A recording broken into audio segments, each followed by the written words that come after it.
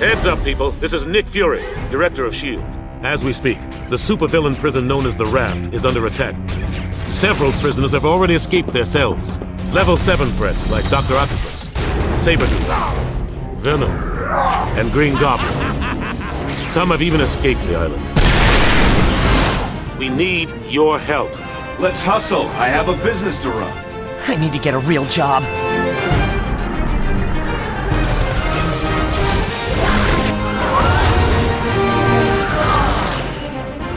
Superpower threat detected.